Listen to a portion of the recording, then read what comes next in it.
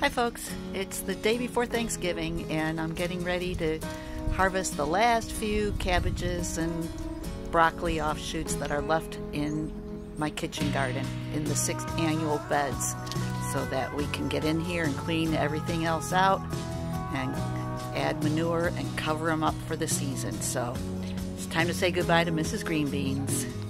Bye, Mrs. Greenbeans. And these two guys known as Roscoe and Silas green beans, are going to move out to my front stoop where they'll be dressed in hats and mittens that were made for my own sons, Roscoe and Silas, by their great grandmother.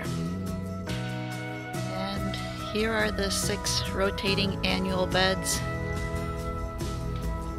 almost completely cleared out.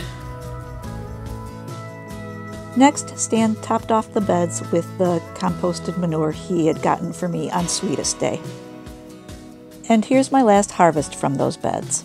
So, of course, I made some coleslaw to bring along to today's Thanksgiving meal. And I used green beans, onion powder, and garlic from my garden to make green bean casseroles.